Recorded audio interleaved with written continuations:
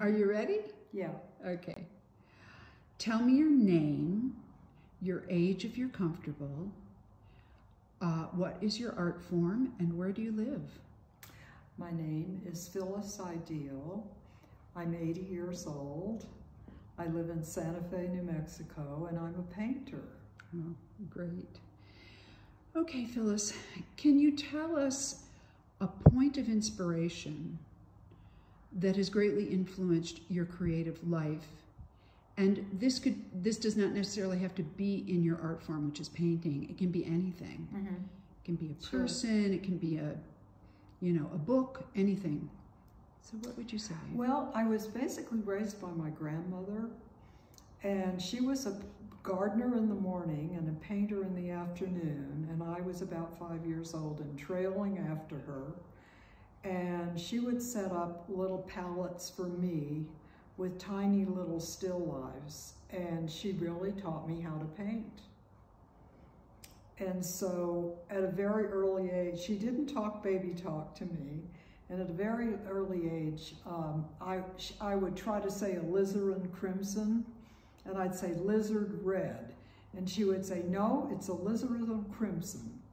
And she uh, also read stories to me, and she really just activated my imagination, and I learned uh, kind of about, about using art to make transformation. It's a transformative kind of activity. It's incredible that you had that, that uh, influence at such a young age. I did. I did. Do you think that's why you became an artist? Absolutely. Yes. Yeah. I've gone down different di different paths. Mm -hmm. So at one point I got a master's in psychology because I thought I needed something to fall back on. And my mother was always saying, take a, take a secretarial class. And I typed about 40 mistakes a minute. And I didn't want to do it, so I thought I'd do something else. And I had a teaching certificate, and so I went down that path for a while. And then that was about getting the master's was in New York, and then I worked in California and taught educably retarded kids. And then I went back, I, I got a studio and just started working. Mm. Did you paint all through that time that you were? No. Um, uh-uh. Right. No. But it pulled you back, which is wonderful. Okay, um, now I want to ask you, when you're in the act of painting, mm -hmm. uh, in the process of creating the work, and things are going very well, you know, the plates are spinning, you feel connected and engaged. Are you aware of a body sensation at times? Of, uh, just I'll leave it at that, some kind of body sensation that indicates the depth of your uh, engagement, so to speak? No, I am not. And, uh, oh, let's see. I'm not really involved with, I'm not aware of the engagement.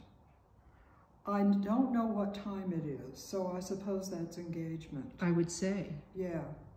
And um, I sometimes um, have rock and roll on and I'll dance around. And, but I don't know if that really affects my painting particularly. I mean, I'm a, very experimental in the studio, mm -hmm. and things don't just come together. They're crafted together. I use a lot of collage, so mm -hmm. I mm-hmm. might do a very uh, gestural piece and then use a geometric piece and combine the 2 mm -hmm. And I don't notice body, you know, particularly sensation. Mm -hmm. I mm-hmm. don't really believe in the aha moment because I work four hours every day. Right, right. So the well, process just keeps on going, which is good. And I would, I would think though that being unaware of the time and the passage of time um, is lost yeah. is kind of what is another way of saying, you know, that there is um, that you're fully engaged. I'm very engaged. yeah. yeah. Yeah. Ah, that's great. And I'm kind of thinking to myself, now do this, now do that, try mm -hmm. this, try that, you know, but it's not, um, it's not a release, Mm-hmm. it's a focus, Mm-hmm. and it's work. Yeah. Hmm. Yeah. Wonderful. okay, so the third question brings us to uh, global and universal implications of the arts. Mm-hmm. Um, needless to say, everyone believes that the arts is an essential aspect of being human. It really does express, it's an, all the arts are expressions of the human condition. Definitely. And if we don't see that reflected, you know, we're in bad shape. So, in your opinion, say in your words, why is it essential for the world, for humanity, for your artwork to be out there, to, to exist, for pa- pa- painters to paint? What is your feeling? Well, it, I'm part of the creative process, and I mean, the first line in the Bible was, Let there be light.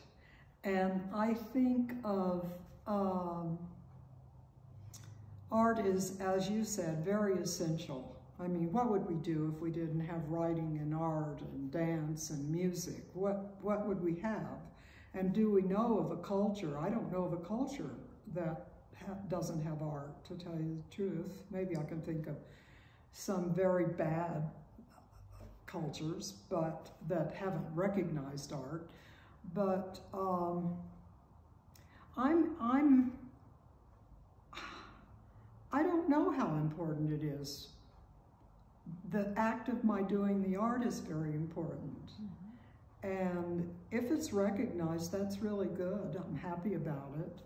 But it's not exactly what the game's about for me. Mhm. I will keep doing it, and along the way, it's re- been recognized, and I've had lots of shows and lots of galleries, but that isn't what I think about.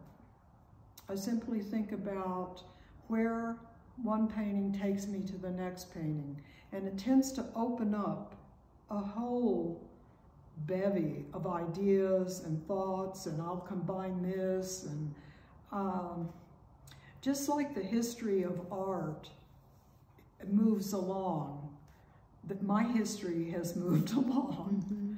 So that's really where I put my emphasis. Mhm. You've been living out your own creative imperative.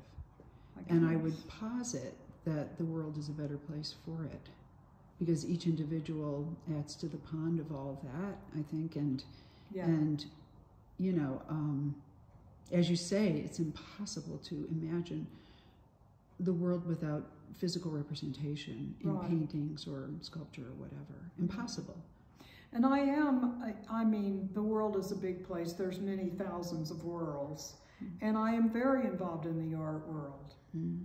and um, I'm involved with my friends. I'm involved with other artists. I'm involved in studio visits and discussion and the language that we understand among ourselves to help us promote this process. Mhm. And um, am I making it a better place? Well, I'm on the board of the Roswell Artist in Residence program, and I think that's a good good thing because it's a very um, supportive thing for artists. Mhm. Great. And I've been an American abstract artist, which is the ongoing process all the way back to the original abstract artists in the United States. Right. So you're you're an ongoing living link Yeah, to that. that's true. which I think is is important. Yeah. Um, that's wonderful, Phillis. I think that's all I have to ask you, and um, I want to thank you for sharing your creative imperative with us. Oh, thank you for asking me to do it. My pleasure. Yeah.